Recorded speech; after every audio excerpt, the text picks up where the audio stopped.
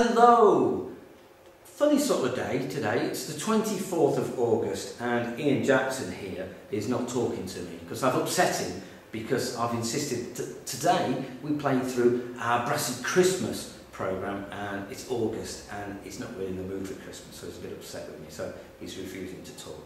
Anyway, the good news is I'm going to use this P-bone and this lovely pink Kelly 6.5 AL to play David Lancaster's fabulous Holly trombone solo.